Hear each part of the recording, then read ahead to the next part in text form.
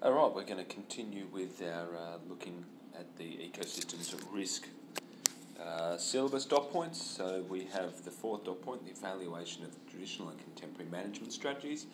Um, really, the things that we're looking at here is, firstly the big word here is the evaluation, um, and we'll get into that a little bit later. But basically, we're going to be looking at traditional, contemporary, management strategies. So there's three different things that we're going to be looking at. So traditional management strategies, contemporary management strategies, and then the big one is making a judgment and evaluation of those. So let's get into it.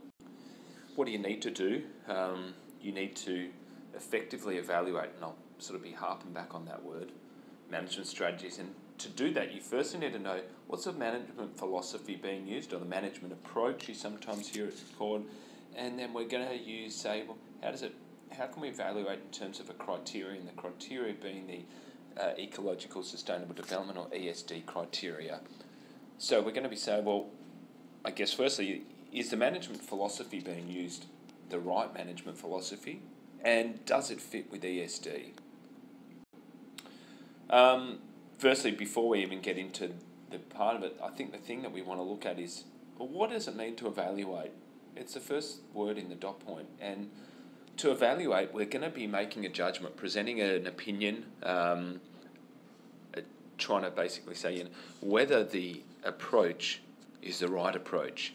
And you're going to have to make a judgment based on the reading, your research that you've done on the management strategy, um, be it the traditional or the contemporary management strategy being used in either the sample study or on the case study that you'll be looking at as well. As I said, the criteria being used is the one of ESD, and we're going to look at yeah that management philosophy or approach. That term often gets interchanged. Firstly, we'll look at management philosophies. Um, I, there are many different types of management philosophies that you can use, um, or management approaches be, that you can use. In, in all the textbooks that you that you see, there are uh, they're, they're, similar, um, but they sometimes get reworded in a different way. These are the four that I like.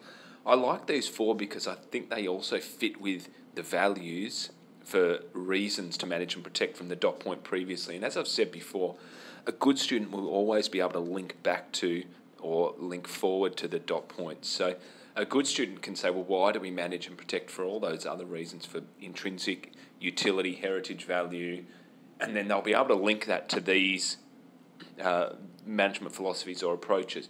Basically, it's broken into four preservation and conservation are going to be more associated on the whole with management um, values such as intrinsic value and heritage value and conservation management and protection of biodiversity whereas utilisation and exploitation are going to tend to be more along the lines of the utility value not always um, but where, where you would go with this was you'd be sort of saying well in an ecosystem at risk is a management strategy of, say, conservation, the right management strategy. Perhaps, you know, that you, you could argue that preservation might be the right one, or that you know, utilisation may actually protect it better. There's um, so you you you're evaluating not only its uh, criteria for ESD, but also if you feel that management philosophy or the management approach is um, the correct one.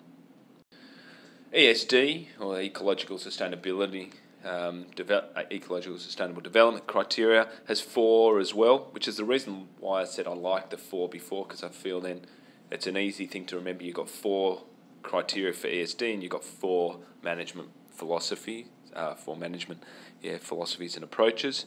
Um, inter and intra generational equity, so for the people within the current generation and then future generations whether the precautionary approach is being managed, and then also the maintenance of biological diversity.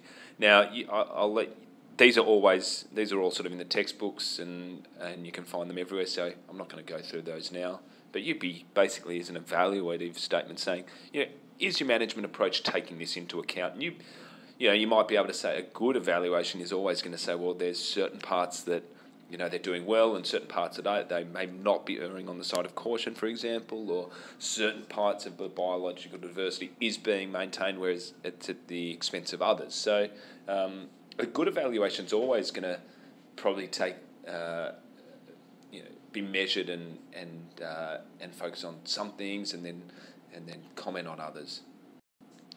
Uh, I always think you know when you're going to be evaluating, you need to have some good. You need to have some words to be able to evaluate. And so for my students, this is just um, this is just a little table I've found that I think is effective. Uh, yeah, not to not to sort of harp on that at the top there, but some terms you can use if you feel a, a management approach is effective. Then yeah, you can say that you know, things like it is yeah a successful, a productive, a useful um, strategy, somewhat effective, moderately effective, somewhat ineffective, unsuccessful, unproductive, unworkable, inadequate. These are all great terms that you can use in a response if, for this dot point when you're having to evaluate uh, the management strategies.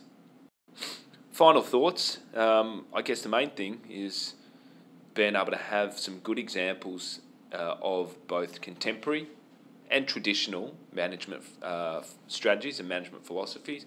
I guess the only thing I haven't really talked about too much is for traditional management strategies. The only thing that I've probably m- missed out is that uh, the traditional management strategies and philosophies tend to focus around the concept of stewardship, certainly um, around the case studies that we look at. Um, and so, as a uh, management approach, you may sort of think about linking that to one of those four management approaches.